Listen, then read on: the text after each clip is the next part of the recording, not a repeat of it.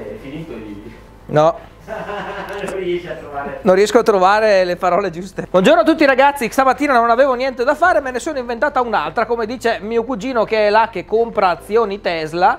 Siamo, siamo in officina, siamo in officina, oggi andremo a montare questo sistema qui che va praticamente dietro al volante ed è un display doppio circolare, anzi triplo perché sono tre display che vanno montati sopra il volante, quindi dietro il volante e andremo a vedere tutte le varie informazioni dell'auto, è molto molto carino, si acquista su Amazon, è facilissimo da montare. Beh, andiamo a vederlo insieme, dai.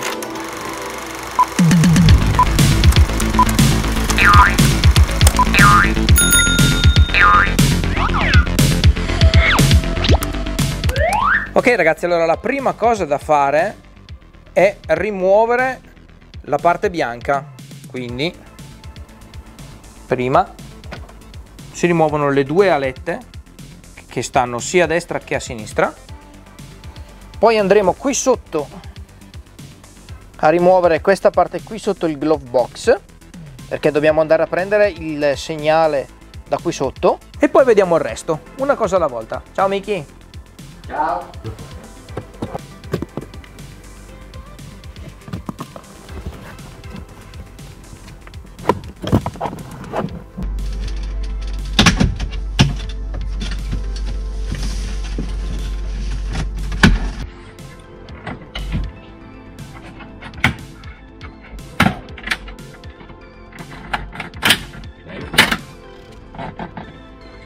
Alte. Hostia. Vedete è molto molto semplice, qui ci sono tutti gli incastri e basta andare ad utilizzare una piccola leva e siete a posto. Ora da qui noi andiamo praticamente solo ad infilare il cavetto che poi andrà qui sotto. E il cavetto è questo qui ovviamente è in dotazione. Vedete ragazzi avere un cugino elettricista in questi casi è sempre una buona cosa.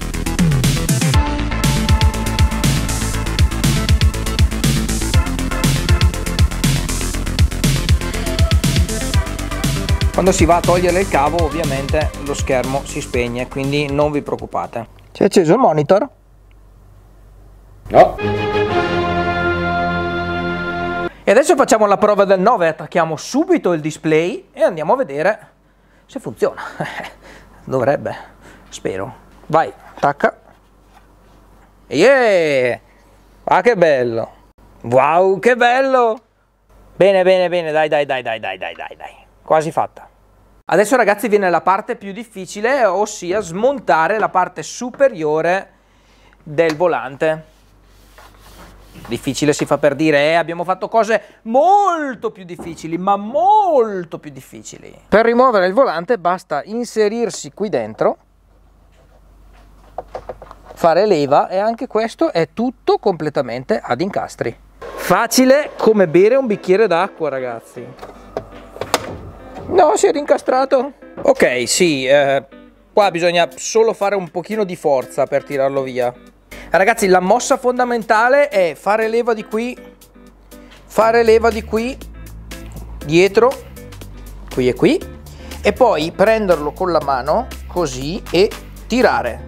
Tirare in su e poi o, o da una parte o dall'altra. Ci sono questi simpaticissimi pernettini che non si devono rompere. Noi fortunatamente non ne abbiamo rotto neanche uno.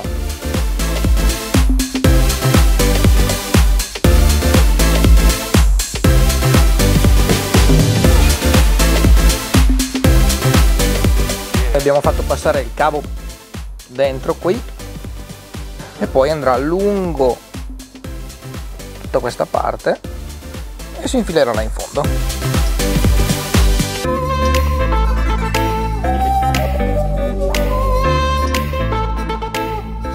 Ora per far sì che il cavo passi da sotto, che non si deve vedere assolutamente niente, abbiamo tirato una piccola cordina da qui fino a dietro lo schermo.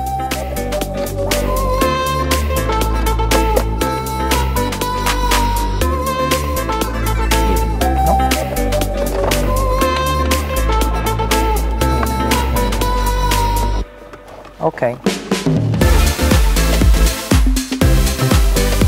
Forse è meglio. Vabbè, dopo. Ok, ed ecco il risultato.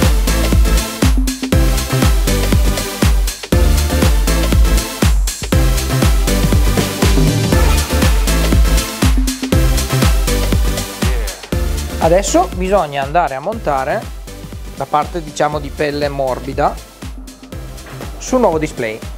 Anche qui ci sono dei piccoli connettori. Ecco. Perfetto. Andiamo a montarlo via. Qui io metterei anche un piccolo pezzettino di nastro. Bene. Miki, fatto, eh? Sì. Adesso bisogna spingere dentro i due pernettini. A posto. Ora andiamo a rimontare la plancia. Tenete ben presente che ci sono tutti i vari connettori, quindi dovete stare molto molto attenti a non far passare il cavo all'interno del connettore. Ragazzi, il cavo va fatto passare dietro perché altrimenti non si chiude bene, quindi se voi lo fate passare qui dietro siete a posto.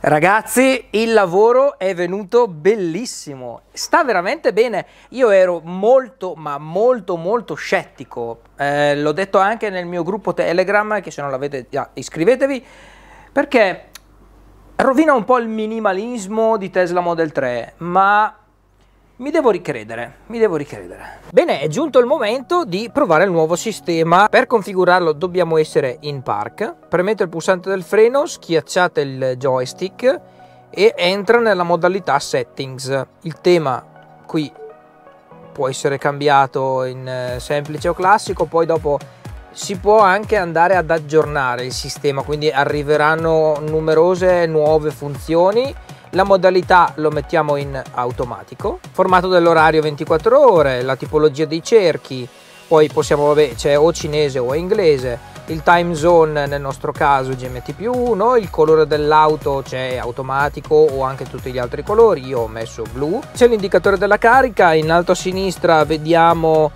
charge o power, questo dipende chiaramente da come andiamo ad utilizzare l'auto, quindi se è in modalità frenata rigenerativa oppure piglia energia dall'auto. Come vedete ci indica la velocità consentita su questo tratto di strada che è 50 km h sul display di destra.